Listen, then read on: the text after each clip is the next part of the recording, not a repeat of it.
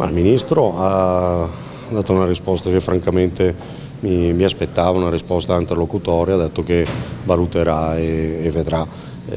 abbiamo comunque fatto presente come eh, il problema non sia tanto eh, in specie quello che è accaduto, che comunque è gravissimo, quanto il messaggio che viene dato al cittadino. Eh, questo governo, Partito Democratico, insistono a dire che la legittima difesa non deve essere toccata, è il compito dello Stato proteggere il cittadino, quando quasi per miracolo o meglio per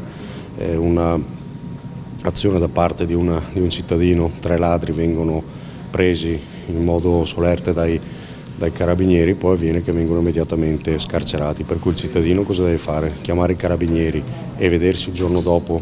eh, i ladri in giro con il rischio magari di eventuali vendette oppure deve deve difendersi. Noi continuiamo a pensare che qualora voglia difendersi dovrebbe essere posto nelle condizioni di poterlo fare senza rischiare, come poi invece avviene, una reazione forte e cattiva da parte dello Stato, che invece quando si tratta di ladri colti in flagrante come in questo caso non c'è stata.